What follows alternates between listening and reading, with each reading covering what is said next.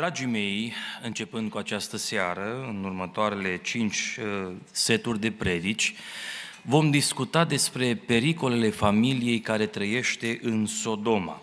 Vrem să urmărim povestea tragică a familiei lui Lot, care pornește dintr-un punct de a nu-L cunoaște deloc, pe Dumnezeu, iar prin providență divină, strict prin providență divină, ajunge într-un plan al mântuirii și un potențial al binecuvântării. Vrem să urmărim cum acest om a dat cu piciorul la tot ceea ce a însemnat binecuvântarea lui Dumnezeu, promisiunea și potențialul spiritual și ajunge să fie mai degrabă tatăl unor neamuri care au devenit vrășmașii evreilor. Toate aceste daune s-au asajat în viața lui din ziua când omul acesta a ales să meargă în Sodoma. De altfel, povestea lui Lot, dragii mei, este povestea noastră a tuturor.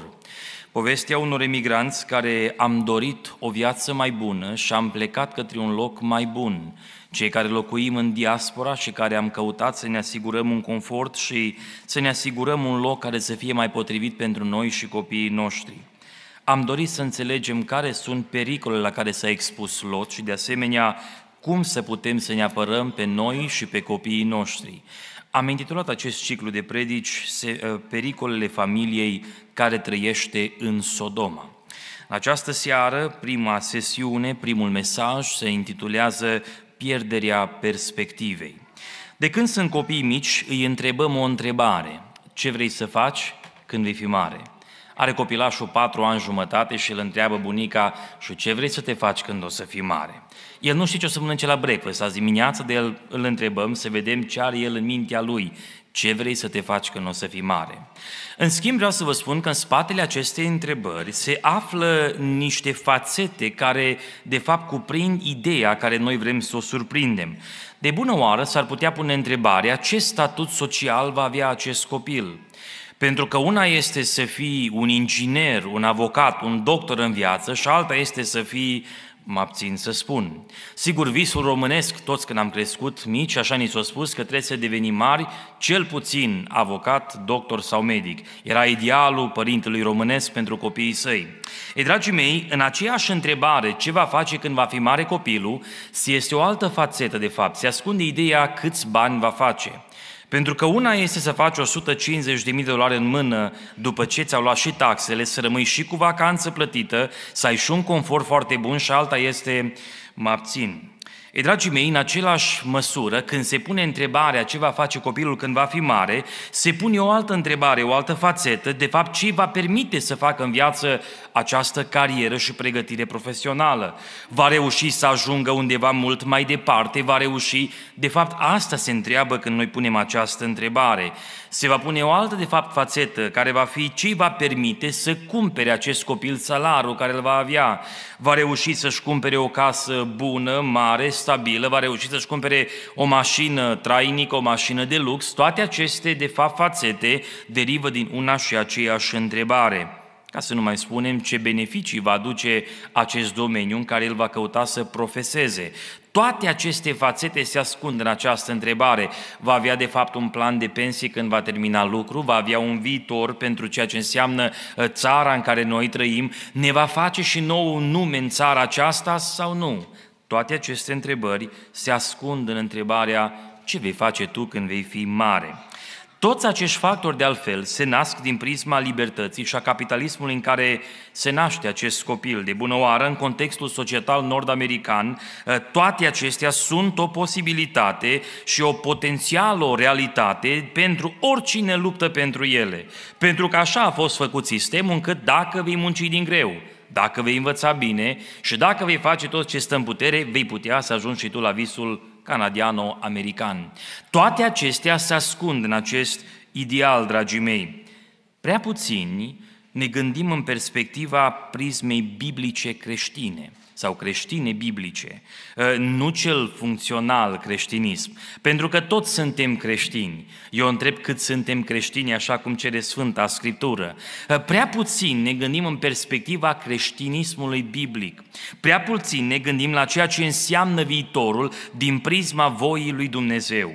Dați-mi voie să vă arăt cum vedea Apostolul Pavel această pregătire pentru viitor, cum privea Pavel la perspectiva unei vieți de om care îl cunoaște pe Dumnezeu. Am studiat deja acest pasaj împreună în 1 Corinteni, capitolul 7 cu 29. Iată ce vreau să vă spun, fraților. De acum vremea s-a scurtat, spun lucrul acesta pentru ca, 1. Cei ce, cei ce au neveste să fie ca și cum n-ar avea, 2. Cei ce plâng ca și cum n-ar plânge, 3. Cei ce se bucură ca și cum nu s-ar bucura, 4. Cei ce cumpără ca și cum n-ar stăpâni, 5.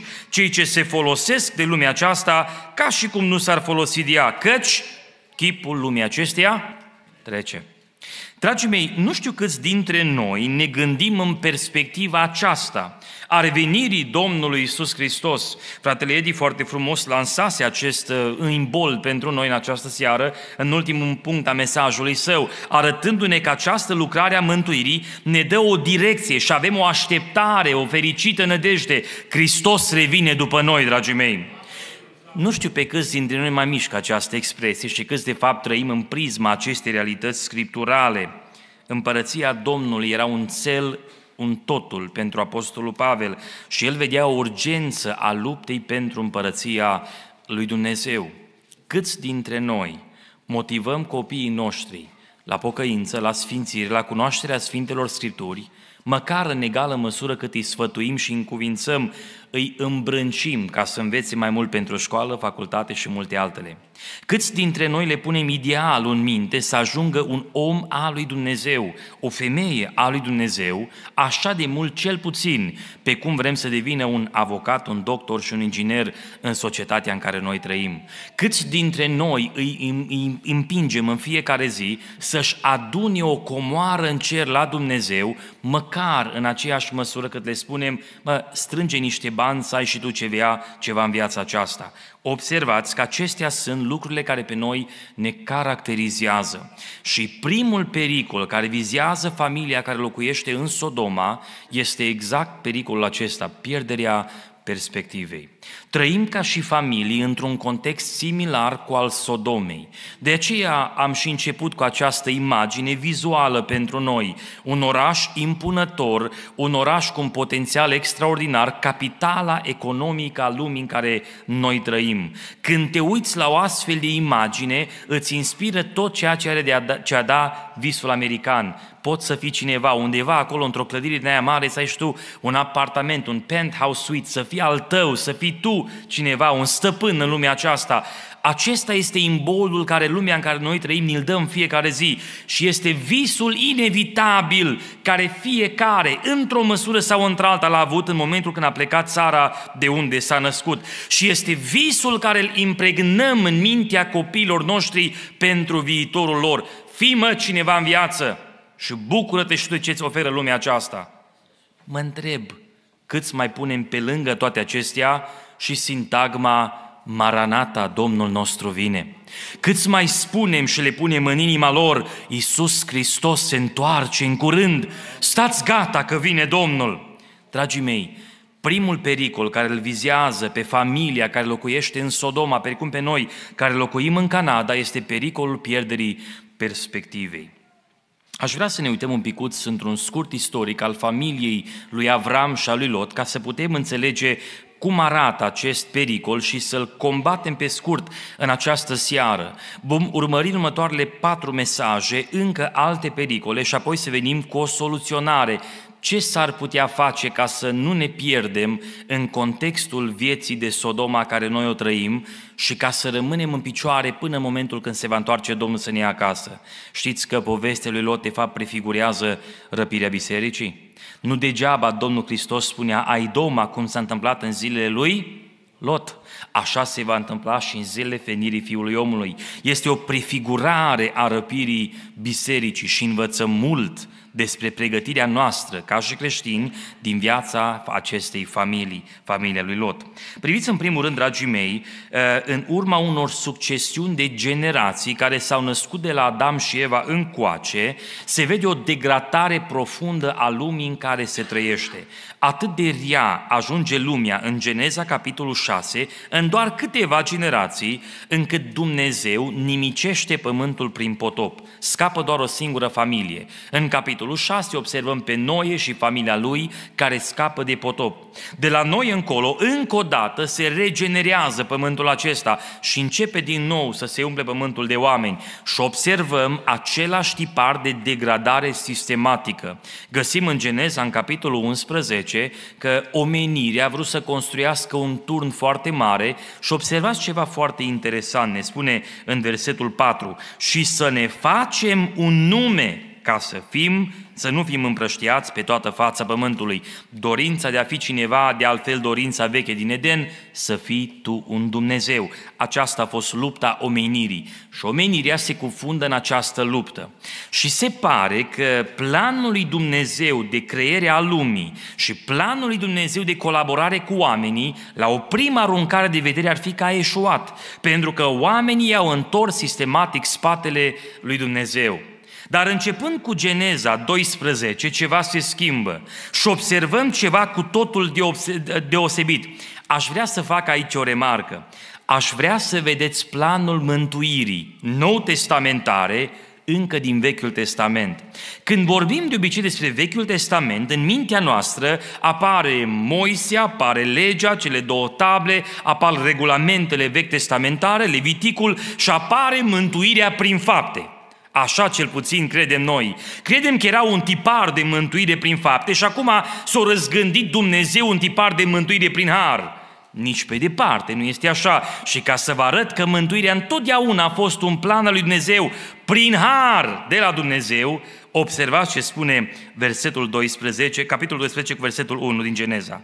Domnul zisese lui Avram, cel care inițiază conversația cu Avram este Domnul Dumnezeu. Cel care pornește dialogul cu omenirea căzută în păcat este Domnul Dumnezeu. Ba mai mult spune, ești în țara ta, din rudenia ta, din casa tatălui tău și vino în țara pe care ți-o voi arăta. Vom vedea mai târziu că Avram era un idolatru, ca și familia sa, pentru că așa era contextul vremii. Nu unui om care s-a pregătit, s-a sfințit, s-a curățat, i-a vorbit Dumnezeu, ci unui om cu totul căzut într-o stare deplorabilă, vorbind religios. Îi vorbește Dumnezeu prin har, că harul lui Dumnezeu aduce mântuirea mărită să fie numele Domnului. Și dacă am început acum să studiem împreună Cartea Galateni, vom observa, dragii mei, că același har care a lucrat atunci în viața lui Avram este harul care Apostolul Pavel îl menționează în Cartea Galateni. De aceea va face o remarcă. Făgăduința făcută lui Avram aici nu poate fi desfințată de legea care vine mai târziu după 430 de ani. Harul era lucrare de mântuire a lui Dumnezeu. Și Dumnezeu alege din benevolență, din bunăvoința sa, să vorbească omenirii căzută în păcat. Vreau să observați că atunci când Dumnezeu îl cheamă pe Avram, era o familie idolatră. Ne spune în cartea Iosua, în capitolul 24, începând cu versetul 2. Iosua a zis întregului popor, așa vorbește Domnul Dumnezeul lui Israel. Și acum ascultați, părinții voștri, Terah, tatălui Avram și tatălui Nahor locuiau în vechime de cealaltă parte a râului Eufrat și slujau altor Dumnezei. Familia lui Nahor, familia lui Terah, familia lui Avram ulterior și Nahor celălalt și familia sa slujau altor Dumnezei. Pe când nu-L cunoșteau pe Dumnezeu, Dumnezeu în har, le-a vorbit și i-a scos din casa lor. Și Dumnezeu face un apel către Avram îl cheamă la o trăire cu Dumnezeu, o întâlnire personală cu Dumnezeu. Nu ni se spune în Sfânta Scriptură cum, când, în ce formă și în ce fel, dar am avea un indicator în Cartea Fapte, în capitolul 7, cu versetul 2. Ștefan a răspuns, fraților și părinților ascultați, Dumnezeul slavei s-a arătat părintelui nostru Avram când era în Mesopotamia, înainte ca să se așeze în Haran. Dumnezeul slavei implică aceeași sintagmă care Moise o ceruse, o Doamne, fă să văd slava Ta. Se vede că Dumnezeu s-a arătat lui Avram într-un mod profund. Și acum ne spune Sfânta Scriptură că îi zice Dumnezeu lui Avram, voi face din tine un neam mare și te voi binecuvânta îți voi face un nume mare, observați, dacă cei de la Babel vreau un nume mare, acum Dumnezeu e Cel ce poate face cuiva un nume mare și vei fi o binecuvântare. Voi binecuvânta pe cei ce te vor binecuvânta, voi blestema pe cei ce te vor blestema și toate familiile pământului vor fi binecuvântate în tine. Observați că Dumnezeu este Cel care ia inițiativa, Dumnezeu este Cel care are planul mântuirii și nu degeaba Apostolul Pavel consemnează în 2 Corinteni 4 cu 6 6, căci Dumnezeu care a zis să lumineze lumina în întuneric, ne-a luminat inimile pentru ca să facem să strălucească lumina cunoștinței slavei lui Dumnezeu pe fața lui Isus Hristos. Cel ce a dus lumina a fost Dumnezeu, mărit să fie numele. Dumnezeu vorbește lui Avram, ești în casa tatălui tău, leapă de Dumnezeii părinților tăi, leapă de neamul și rudenia ta și du-te în țara care ți-o arăt eu și îți voi face o făgăduință de binecuvântare. Avram a crezut pe Dumnezeu și această credință i s-a socotit drept neprihănire. Pleacă Avram într-un drum și ajunge la un moment dat înspre Betel lângă Ai. Și ne spune Biblia că aici Avram a făcut un altar care l-a închinat lui Dumnezeu slujind Domnului.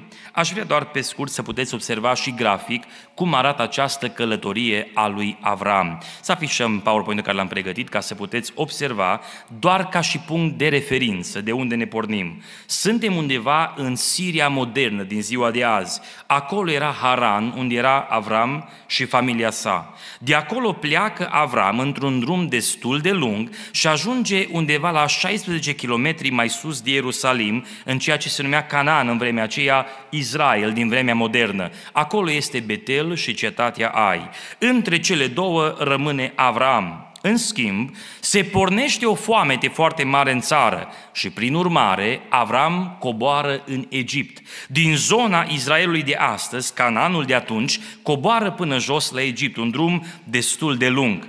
În urma faptului că Dumnezeu a înlăturat acea foamete, s-a terminat cu acea secetă și Avram a scăpat ca prin urechile acului de provocare din Egipt, Avram acum se întoarce înapoi înspre Israel. Și observați că acum vine înapoi în sus, vine înapoi în Canaan, din nou la Betel și la Ai, și de aici apare provocarea din capitolul 13, în care împreună cu Lot nu se mai împacă și se despart. Din punctul Betelului, care este destul de înalt geografic, când Lot se uită spre câmpia Iordanului, se uită înspre partea dreaptă a hărții noastre. Acolo, jos, în partea cealaltă de râu, era Sodoma și Gomora. Era cu adevărat o câmpie excelentă în vremea aceea și ne spune Biblia ceva deosebit din vremea aceea. Ca mai apoi, în punctul final, să observăm că atunci când vin îngerii la Avram, din nou, tot în locul acela lângă Mamre, se coboară până la Lot, intră în Sodoma și Gomora, îl scot afară și punctul de jos a hărții este Țoaru, unde a fugit Lot să scape viața și Dumnezeu nimicește Sodoma și Gomora. Mulțumesc foarte mult. Doar ca să putem înțelege unde ne aflăm. Gândiți-vă la ceea ce se întâmplă și acum ne reîntoarcem la viața acestui om. Coboară în Egipt. Gândiți-vă că Dumnezeu când vrea să binecuvânteze pe cineva, pune la cale niște lucruri care nu ni se par de neconceput. Ne spune versetul 10 din capitolul 12. A venit însă o foame în țară și Avram s-a coborât în Egipt ca să locuiască pentru câteva vreme acolo, căci era mare foamete în țară. Știți care a fost scopul acestei coborâri? Ne spune în versetul 16. Pe Avram l-a primit bine din pricina ei, a lui Sarai, soția sa, și Avram a căpătat oi, boi, măgari, robi și roabe, măgărițe și cămile l-au îmbogățit pe Avram. Dați-mi voi să fac aici o remarcă. Când Dumnezeu vrea să ridice pe cineva, să îmbogățească pe cineva, Dumnezeu prin felurite conjuncturi va deschide ușa și va lăsa ceea ce noi putem numi cu adevărat o binecuvântare. Ascultați-mă bine, nu orice oportunitate este și binecuvântare. Sunt oportunități care mai degrabă sunt blesteme decât binecuvântări. Vedem mai târziu că aceste binecuvântări, această îmbogățire a fost o binecuvântare pentru Avram. Pentru Lot, în schimb, se observă că dorința sa l-a dus la distrugere și nu la viața care a avut-o Avram. Ne spune în versetul 8, uh, versetul 7, s-a iscat o ceartă între păzitorii vitelor, din 13, vitelor lui Avram și păzitorii vitelor lui Lot, cananiții și feriziții locuiau atunci în țară. Îmbogățirea care a avut-o Lot l-a dus la distrugere. Ca mai apoi să ne spună că atunci când s-a uitat către Sodoma și Gomora și-a dat seama că acolo putea să facă business. Acolo putea să facă bani. Această conjunctură creată de dorința lui proprie l-a dus la nimicire. Nu uitați, dragii mei, că motivul pentru care dorea Lot să ajungă înspre Sodoma și Gomora se lega de o experiență de mai devreme, ne spune în versetul 10 din 13. Lot și-a ridicat ochii, a văzut că toată câmpia Iordanului era bine udată în întregime, înainte de a nimici Domnul Sodoma și Gomora, până la Țoar, era ca o grădină a Domnului, virgulă, ca țara Egiptului. Lot fusese în Egipt împreună cu Avram, văzuse ce era acolo, bogăția de acolo și l-a captat. Văzând ce poate fi potențial în Sodoma și Gomora, va fi exact ce am întâmpinat eu când eram în Egipt. Aceste tipare, dragii mei, pe noi ne marchează într-un mod profund. De aceea contează foarte mult care sunt lucrurile care dau ghes vieții noastre. Dacă te-au marcat întotdeauna filmele vremii în care trăiești, dacă te-au marcat întotdeauna lucrurile care dorești să le ai în viața ta, acestea îți vor învenina viața, alungându-te și ducându-te tot mai mult către câștig între oportunitate și binecuvântare este o mare diferență. În al doilea rând, dragii mei, se întoarce înapoi Avram și interesant că atunci când se întoarce înapoi, se întoarce tot la altarul care îl construise el la Betel și Ai, în locul de închinare cu Dumnezeu. Omul acesta n-a uitat legătura, comuniunea cu Dumnezeu. În schimb, acum ne spune Biblia că Avram era foarte bogat. Sintagma foarte bogat, spun comentatorii Vechiului Testament, în vremea aceea pentru un arab din Orientul Mijlociu, însemna să ai între cel puțin 100 și 200 de corturi. Asta era o tabără destul de mare, gândiți-vă. Apoi însemna să ai cel puțin între 60 și 100 de cămile, cel puțin 1000 de oi și cel puțin 1000 de capre. Și aici te puteai numi bogat. Avram era foarte bogat. Vorbim despre un om care dispunea de un avut și o avuție extraordinară. Omul acesta era binecuvântat de Dumnezeu. Și omul acesta se întoarce înapoi la locul părtășiei cu Dumnezeu. Deodată se iscă o problemă între el și între nepotul său. Și nepotul său vede că averea lui sunt la fel de mari ca lui Avram și nu mai au loc împreună să pască la oaltă. Animalele nu mai au loc să-și extindă businessul lor mai mult și se, cear, se iscă o ceartă între ei. Aș vrea să observați ceva ce spune Sfânta Scriptură. Ne întoarcem înapoi în versetul 7. S-a iscat o ceartă între păzitorii vitelor lui Avram și păzitorii vitelor lui Lot. Cananiții și fereziții locuiau atunci în țară. Dragii mei, în momentul când pocăiții se ceartă, cei din jur se uită să vadă ce se întâmplă. În momentul când copilul lui Dumnezeu intră în dispute, în ceartă, în uh, probleme de discrepanțe între ei, vreau să vă spun că cei din jur se uită la ei să vadă cum gestionează ei pocăiți conflictele dintre ei. Și modalitatea în care noi ne comportăm va putea să ducă favoare Evangheliei sau o rușine Evangheliei lui Dumnezeu. Să ne ferească Dumnezeu de ceartă între noi.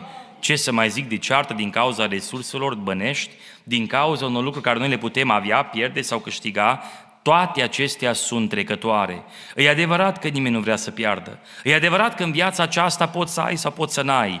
Dar e cel mai important să ai ceea ce este veșnic, aia înseamnă mântuirea împreună cu Dumnezeu. De aceea, dragii mei, să ne ferească Dumnezeu să ne certăm noi între noi, că cei de afară se uită. Cananiții și fereziții se uitau să vadă ce se va întâmpla acum între Avram și Lot. Avram era destul de puternic să intre în bătaie cu Lot dacă vroia. Și după cum se vede, putea să-l pună jos.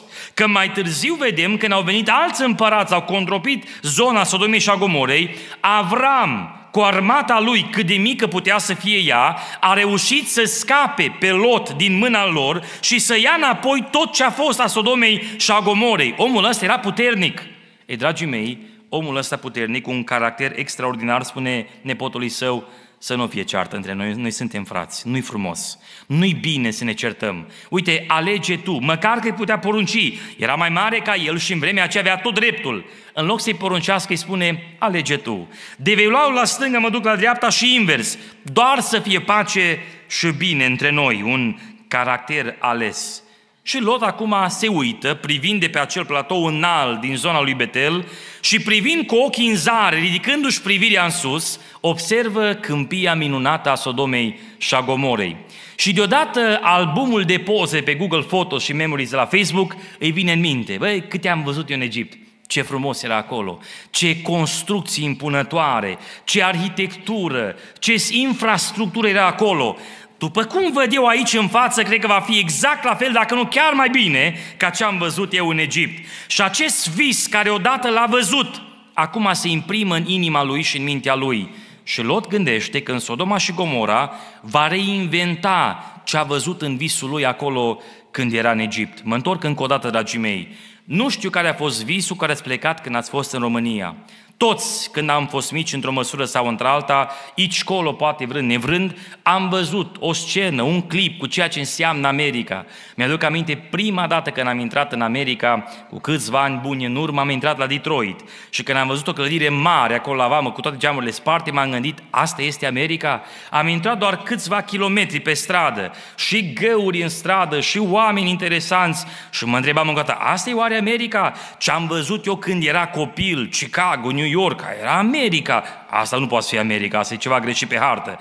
De la America, dragii mei. Nu știu care a fost visul care v-a animat când ați plecat din România. Nu știu care a fost gândirea dumneavoastră vis-a-vis de ce înseamnă viața din Occident. Dar să știți că acele vise v-au imprimat mai mult decât vă dați seama. Și acele vise au devenit catalizatorul, motorul pentru viața occidentală care noi o trăim.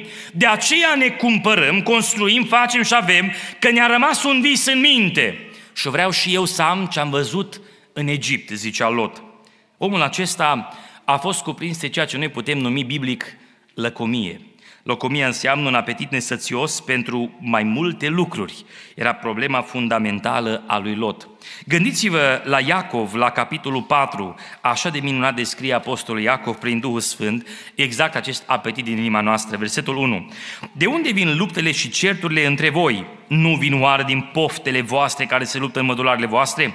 Voi poftiți și nu aveți, ucideți și pismuiți și nu izbutiți să căpătați, vă certați și vă luptați și nu aveți, pentru că nu cereți. Sau cereți cu gând rău să căpătați, pentru ca să cereți cu gând rău să risipiți în plăcerile voastre. Suflet de preacurvare, nu știi că prietenia cu lumii, lumii este vrășmășie cu Dumnezeu, așa că cine vrea să fie prieten cu lumea se face vrășmaș cu Dumnezeu. Dragii mei, aceasta este lupta fundamentală a fiecăruia dintre noi. Că o admitem sau nu, că o sesizăm sau nu, este înscris în ADN-ul nostru, în starea noastră căzută în păcat. Spunea predicatorul englez Robert South din secolul 17 astfel, Lăcomia este atât începutul cât și sfârșitul alfabetului diavolului. Primul viciu din natura coruptă care se mișcă și ultimul care moare. Excepțional. Lăcomia este ultimul viciu care moare în viața ta. Cât trăiești, poftești, dorești, vrei să ai. Este înscris în ADN-ul nostru. De aceea Apostolul Pavel spunea în 1 Timotei 6 cu versetul 6, negreșite Vlavia însoțită de mulțumire este de un mare câștig, căci noi n-am adus nimic în lume și nici nu putem să luăm cu noi nimic din ea. Dacă avem dar cu ce să ne hrănim și cu ce să ne îmbrăcăm, ne va fi de ajuns.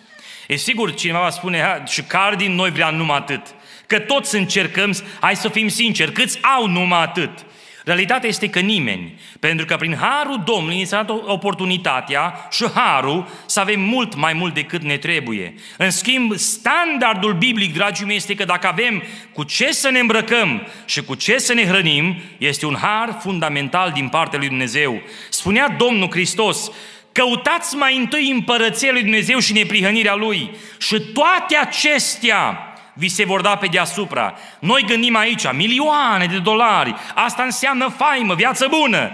De fapt, ce spune acolo în Hristos că neamurile caută, este cu ce să ne îmbrăcăm, cu ce să mâncăm Și unde să trăim? Asta le caută oamenii. Este nevoia cea mai fundamentală a omenirii, să te poți adăposti și să-ți asiguri un viitor pentru ziua de mâine. Asta o vrem noi fiecare. Biblia spune, dacă le avem pe astea fundamentale, îi harul lui Dumnezeu.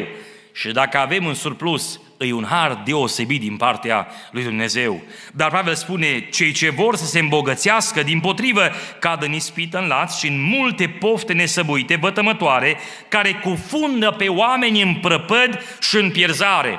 Dorința aceasta să devii, să fii, să ai, să acumulezi, îți strică viața. Și cel mai trist îți spune în pericol eternitatea. Aici este problema omului Dumnezeu Lot.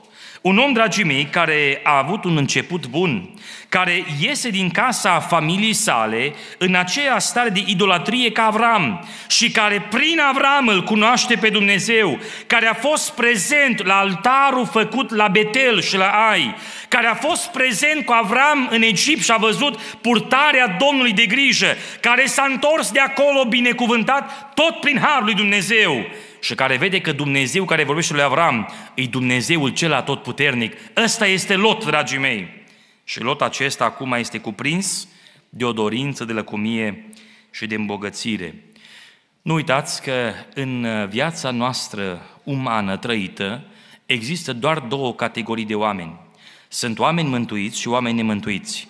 Nu există o a treia variantă. Poți să fii ori mântuit, ori nemântuit, ori în viață, ori să nu fii în viață. În schimb, de cei care sunt în viață se bifurcă ceva și sunt două categorii, două subdivizii. Sunt oameni imaturi și sunt oameni maturi spiritual. Omul imatur spiritual întotdeauna va căuta să-și umple golul care încă îl simte din anumite considerente prin lucrurile lumii acesteia, realizând totodată că nu poate ajunge la împlinire. Pavel spunea în 1 Corinteni, capitolul 3, vouă vă vorbesc ca niște oameni de lume. Voi încă sunteți mici, voi trebuia să fiți maturi, dar nu pot să vorbesc cu voi ca niște oameni maturi. Pentru că măcar că l-ați cunoscut pe Hristos, ați rămas într-o stare de împământenire. Aici noi trebuie să biruim lupta aceasta prin puterea Duhului Sfânt. De aceea spunea Apostolul Roman 14 cu 17, căci împărăția lui Dumnezeu nu este mâncare și băutură, case, haine și mașini, ci bucurie, pace și neprihănire, pace și bucurie în Duhul Sfânt. Astea sunt adevăratele comori care Dumnezeu le dă pentru noi, mărit să fie numele. Omul acesta, Lot, are o problemă. Și aș vrea să vedem un act providențial chiar și în această luptă a lui Lot. Vreau să vă spun că în fond și definitiv chiar plecarea lui Lot în Sodoma n-a fost la întâmplare. Dumnezeu providențial avea un plan prin Lot în Sodoma și Gomora. Gândiți-vă că Lot era numit în 2 Petru, capitolul 2, un om neprihănit. Era un om care de asemenea s-a întâlnit și iubea pe Dumnezeul lui Avram. Omul acesta, în contextul mizer din Sodoma, în care vom vedea în următoarele mesaje, oamenii nu că practicau imoralitatea, nu că practicau homosexualitatea, oamenii practicau curvia în stradă. Noi zicem, vai de Sodoma în care trăim, habar n-avem ce vorbim. Nu suntem nici pe departe în Sodoma, în societatea noastră. Că vine vara, că se îmbracă oamenii indecent, că se comportă neadecvat, sigur, e trist și imoral. N-avem noi idee ce însemna Sodoma. În Sodoma își făceau nevoile în stradă. În Sodoma practicau necurățiile în stradă. Asta însemna Sodoma. Și vreau să vă spun ceva. În mijlocul Sodomei, în mijlocul prăpădului imoralității, Lot are acasă două fete fecioare. A reușit să-și păstreze două fete fecioare în mijlocul infecției imoralității. Omul acesta avea caracteristici bune, avea o capacitate dată de Dumnezeu să asculte și să rămână lângă Dumnezeu. Și omul acesta a fost scos din Sodoma pentru că Dumnezeu vroia să salveze sufletul său și să nu moară împreună cu nelegiuiții. Aș vrea să spun și în această seară, Dumnezeu nu judecă niciodată până nu scoate afară ceea ce este bun și ceea ce este al său. Dacă Dumnezeu încă n-a nimicit pământul acesta cu toate crimele, mizerile și păcatele lui, este pentru că încă mai este biserica lui Dumnezeu în lumea aceasta. În momentul când biserica va fi răpită, Dumnezeu sistematic va distruge lumea în care noi trăim va pedepsi pământul pentru toate păcatele sale. De aceea răpirea trebuie să se întâmple înainte de această judecată mare a lui Dumnezeu. Biserica nu trece prin acel val de judecata Domnului, ci lumea a căzut în păcat. Biserica așa azi încă este sarea și lumina lumii. Doamne ajută să fim aceasta. Și Lot în Sodom avea menirea să fie un evanghelist. Dar Lot, în loc să-și vadă chemarea, menirea, să cheme oamenii la Dumnezeu, la Dumnezeul care l-a văzut împreună cu unchiul său, se pierde într-o schemă de business deal mai mult decât să fie o lumină pentru oameni. A uitat de altarul lui Avram. Și în loc să copieze ce a învățat și el, să facă și el un altar Dumnezeului care le-a vorbit acolo când era un Haran, omul acesta uită de altarul familiei, uită de problema pe care Avram a întâmpinat-o, care l-a dus în Egipt și de modalitatea în care Dumnezeu l-a scos din Egipt pe Avram cu mână biruitoare. Uită de promisiunea făcută de Dumnezeul lui Avram, din sămânța ta voi face un popor extraordinar și veți fi o binecuvântare pentru întreaga omenire. A uitat această promisiune. A uitat de unde i-au venit bunurile care le avea el. Banii de investiție a lui Lot veneau din mâna lui Dumnezeu prin experiența avută în Egipt împreună cu Avram. A uitat de toate acestea. Ne gândim să facem o comparație între Lot și între Domnul Isus Hristos. Lot care a ridicat ochii, a poftit cu ochii și a văzut, a vrut să aibă și Hristos în fața căruia s-au pus toate bogățiile lumii și a spus diavolul, închine-te mie și toate ți le voi da ție, că toate sunt ale mele. Și Domnul spune, numai Domnului Dumnezeului tău să te închini. Numai Dumnezeu merită închinarea. N-are ce să ne ofere lumea aceasta, să ne fure închinarea din fața lui Dumnezeu. Dumnezeu să fie lăudat de noi. Dumnezeu să fie lăudat de noi, dragii mei. N-are lumea aceasta ce să-ți ofere, dragul meu ascultător, încât să pierzi închinarea pentru Dumnezeu. Oare de ce? Pentru că Biblia spune Hristos pentru bucuria care era pusă în față a disprețuit rușinea. Moise spune că parcă avea ochii pironiți spre răsplătire. Așa a putut să biruie Egiptul lumii în care trăia. Dragii mei, mai aveți ochii ațintiți spre răsplătire? Mai vedeți raiul lui Dumnezeu pregătit pentru noi în întâlnirea glorioasă? Mai vibrează în inima dumneavoastră așteptarea revenirii Domnului Isus Hristos? Sau am uitat că de fapt noi aici trăim și aici vrem să ne facem viața bună? Păcatele trupești, ispitele sexuale, pofta firii pământești, dorința de avuție, de avere, de renume, ne-au infectat viața, dragii mei, și am uitat unde este împărăția. Ne luptăm ținând cu dinții, zgârând pământul după noi, să nu cumva să pierdem ce este în lumea aceasta, uitând că Dumnezeu a pregătit o împărăție glorioasă pentru noi am pierdut perspectiva. Iubită Biserica lui Dumnezeu, am pierdut perspectiva. Spunea Apocalipsa 21 cu 22, în cetate n-am văzut niciun templu, pentru că Domnul Dumnezeu, cel atotputernic, ca și mielul său templu ei. Cetatea n-are trebuință nici de soare, nici de lună ca să o lumineze, căci o luminează slava lui Dumnezeu și făclia ei este mielul. Neamurile vor umbla în lumina ei și împărații pământului își vor aduce slava și cinstea lor în ea. Porțile ei nu se vor închide ziua, fiindcă în ea nu va mai fi noapte. În ea vor aduce slava și cinstea neamurilor. Nimic întinat nu va intra în ea, nimeni care trăiește în spurcăciune, în minciună, ci numai cei scriși în cartea vieții mielului. Și mi-a arătat un râu cu apa vieții, limpede ca cristalul, care ieșea din scaunul de domnia lui Dumnezeu și a mielului. În mijlocul pieței cetății și pe cele două maluri ale râului era pomul vieții, rodind 20 feluri de rod, și dând rod în fiecare lună și frunzele pomului sugest la vindecarea neamurilor, nu va mai fi nimic vrednic de blestem acolo. Scaunele domnie a lui Dumnezeu și a mielului vor fi în ea, robii lui îi vor sluji, ei vor vedea fața lui și numele lui va fi scris pe frunțile lor. Vă mai întreb, iubită biserică din Kitchener, mai așteptați această realitate? Mai așteptați această întâlnire cu Dumnezeu?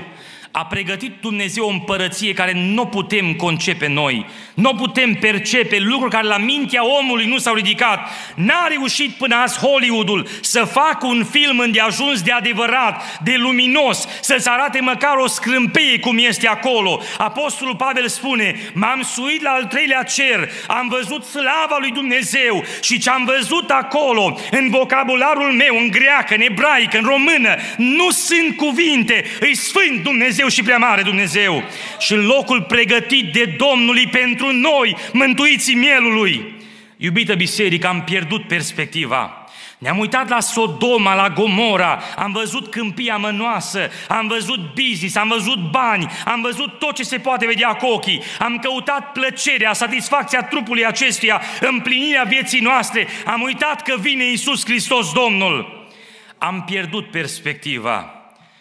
Și, dragii mei, pericolul principal, primul, care privește familia care este în Sodoma, este pierderea perspectivei. Iubită biserică din Chicinel, în această seară îmi doresc să ne deschidă ochii Dumnezeu ca lui Gehazi, să vedem realitatea lui Dumnezeu, o, cât mi-aș dori în această seară să fac operație Duhul Sfânt. Nu-mi doresc nicio prorocie, nicio altă descoperire. Îmi doresc în ochii inimii noastre să deschide Dumnezeu mintea noastră, să percepem slava lui Dumnezeu. Dacă am putea măcar o secundă, o clipă, să primim o scrâmpeie din ceea ce este acolo, o frântură din raiul lui Dumnezeu, să se lumineze inima noastră de frumusețea prezenței Duhului Sfânt cu totul în viața noastră, dragii mei. Vreau să vă spun că Sodoma aceasta aceasta ar păli în comparație. Pentru că nu pot să compar nimic cu slava și gloria care Dumnezeu are pregătită pentru noi. Lot, în loc să privească la o făgăduință care o avea Dumnezeu, a privit la lucrurile temporare care erau palpabile și vizibile în momentul acela. Iubitul meu ascultător, care zi lumină fugi după ceea ce se poate agonisi în lumea aceasta, care cauți împlinirea prin poftele trupești, care îți terfelești sufletul în fel de fel de patim și care cauți să-ți înfericești viața prin lucruri care nu-ți pot da fericirea, nu uita, se întoarce Iisus Hristos. Vine Iisus Hristos și vine în curând. Ferice de cei ce spală hainele ca să aibă drept să intre pe porți în cetate. Iată eu vin curând și răsplata mea este cu mine ca să dau fiecăruia după faptele lui, dragii mei, iubită Biserica lui Dumnezeu, simt și văd tot mai mult că fecioarele sunt tot mai ațipite, că tot mai mult ne-a cuprins somnul vremii în care noi trăim, tot mai mult ne bate lumea aceasta prin sistemele ei și ne-a făcut să adormim cântându-ne cântări frumoase ca să adormim în viața în care noi trăim. Dragii mei, vine Iisus Hristos, nu mai este mult și vine Domnul. Într-o zi s-ar putea să tragă preșul de sub picioarele noastre, tot confortul, banii, tot ce avem să ni se ia pe loc. Credeți că este o imposibilitate ca la un moment dat să spună cei de aici, să spună dă înapoi cetățenia că nu mai ești cetățean? Credeți că nu se poate? De câte ori nu s-a întâmplat în istoriile noastre astfel de situații? Știți că în Canada a fost un fel de holocaust, exact cum a fost și în Germania? Când japonezii au fost băgați în campuri de concentrare și sistematic torturați și omoliți aici, în țara aceasta, știți, dragii mei? Știți că e aproape venirea Domnului Isus Hristos? Știți că împărățiile lumii se clatină, oamenii și-au pierdut pacea, țările intră la război, toate se strică și vorbește Duhul Sfânt, poporurile trezește-te, biserică trezește trezește-te, am pierdut perspectiva exact ca și Lot. În această seară îmi doresc din toată inima să ne trezească Duhul Sfânt. Să ne trezească Duhul Sfânt din somnul duce care noi îl dormim, dragii mei, și să înțelegem că e aproape venirea Domnului Isus. Nimic nu-ți va da fericire și împlinire cum îți dă Duhul Sfânt al lui Dumnezeu. Te mai întrebi Biserică Pentecostală din Kitchener, mai ai părtășia cu Duhul Sfânt al lui Dumnezeu? Nu te-am întrebat dacă vorbești în alte limbi. Te-am întrebat dacă mai ai părtășie cu Duhul Sfânt al lui Dumnezeu. Îți mai vorbește Duhul Sfânt în inimă, mai primești îndemnul de la Duhul Sfânt, îți mai dă pace Domnul, îți mai dă ghes noaptea, te mai scoală Dumnezeu, mai vorbește Duhul Sfânt cu tine, dragii mei. Îmi doresc în această seară să umple Dumnezeu biserica cu Duhul Sfânt să ne trezim din somnul acesta dulce care noi îl dormim, dragii mei, și să înțelegem că vine Domnul Isus Hristos. Apostolul Pavel a spus, nu mai contează nimic. Nimic, tot ce am avut, renume, faimă, bani, sunt un gunoi pentru prețul nespus al mântuirii care îmi stă în față. Singura mea dorință să-L cunosc pe El, puterea învierii Lui, să mă fac asemenea cu moartea Lui și să ajung la învierea din morți. Doamne ajută la aceasta! Doamne, în această seară trezește inimile noastre și ajută-ne ca încă o dată să refocalizăm perspectiva și să înțelegem că în Sodoma putem exista, putem scăpa doar dacă rămânem cu ochii ațintiți spre răsplătire. Dumnezeu să ne ajute la aceasta. Amin.